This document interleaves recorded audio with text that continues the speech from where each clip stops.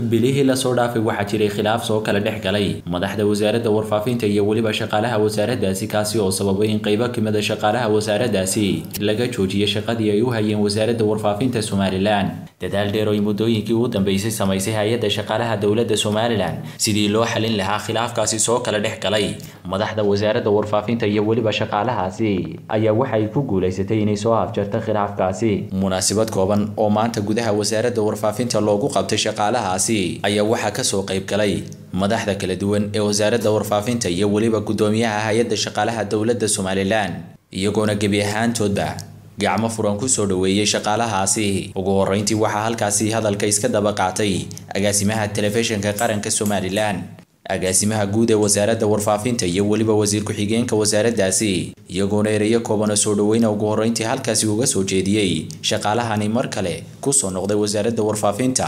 Aadan baynu nahay khilaafku u dhacaa khaladku u dhacaa wax kastaa way dhacaan laakiin haddana in laga soo noqdo oo la iska cafiyo oo la iska raaligeliyo ayaa ka muhiimsan wax kasta. Waayo dad islaama baynu nahay qofka bini aadamka ina waxii ilaahay u qadaro unbaa ku dhacay wax kale oo uu la kulmi karaa ma jirto. Waxaan rajaynayaa wixii hadda ka dambeeyay inagu isku dambayn doonaa hawlaheedii baynu gudageli doonaa sidaynu waxu qaban lahayna waxu hagaajin lahayna waxu kuncin lahayn baynu ka wada sheekaysan doonaa haddii la yidhaahdo waa laydin kala wada hawlgelin doonaa haddii la yidhaahdo. Raaligelinteedii kolley anigu shaksiyan waan faray wuxuu ahaa inta kale wasaaradana xaggayga dhama fadhidana waxaan ku fareen maanta halkan waxaynu isugu nimi waxa weeye in aynu isbogaadino isna raaligelino. Munaasabaddu maanta waxa weeyaan inaynu isu hambaliyeyno carab iyo labadiisa daanbaa isquunsada adduunkan gebigiisu cidaan isqabanin ma jirto. Laakiin isqabadku waxa macno uu ku yeelanayaa in cadiskuna yimaado sidoo kale halkaasi waxaa ka hadlay guddoomiyaha hay'adda shaqaalaha dowladda somalilan isagoona halkaasi ka caddeeyey muhiimadda uu leeyahay sharciga somalilan. Hadalla kala duwan oo waanahna uu soo jeediyey shaqaalahaasi fadhino aynu midaysannahay oo wasiirkii iyo staafkii iyo systemkii iyo dhammaan aynu wada fadhino.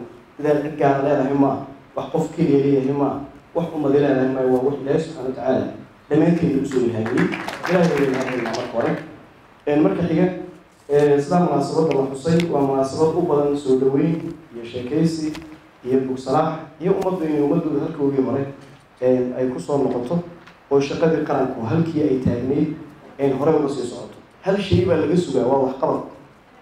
Shacabkana hal shay baa laga sugaa waa qabiyada inayna la daba socdaan. Daydkii aad bisiiseen unbaa ka dhiman warbaahintana waxaa loogu talagalay qabiyada intay soo qaaday inay dhagaha mas'uuliyiinta soo gaarsiiso. Hadday shaqadu kala weecato oo inagu cabanay inagoo dowladda inagu qaylino ama inagu isdilno waxaynu qaadanay rool kale oon roolkeeni ahayn in hawlahaasi noo soo dhammaadaan shuruucda ay soo dhawaano maalin maalinta ka dambaysa sharciga lagama weynaado lama damqada hadduu ku qabto waa la raacaa sharaftay ku jirtaa in shuruucda ku taabtaan. Guuntii iyo gabagabadii waxaa munaasabadani soo afmaray dirka wasaaradda warfaafinta dhaqanka iyo wacyigelinta somalilan cabdiraxmaan cabdilaahi guri barwaaqo isagoona ereya dardaaran iyo soo dhaweyn isugu jira halkaasi uga soo jeediyey shaqaalahaasi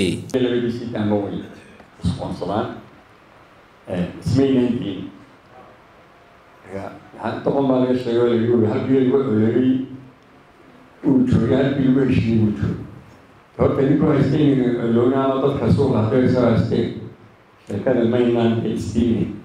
dad arrinun ay isku qabteen taa ka sokow taa ka sokow waxa weeye waan aqbalay ama wasaarad ahaan waan aqbalay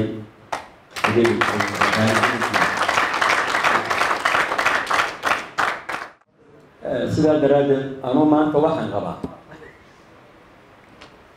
idinkuna maydaan guulaysan annaguna maanaan guulaysan sharcigii baa guulaystay. Waa xiriir maxamed koosar telefishinka caalamiga star t v. Hargeysa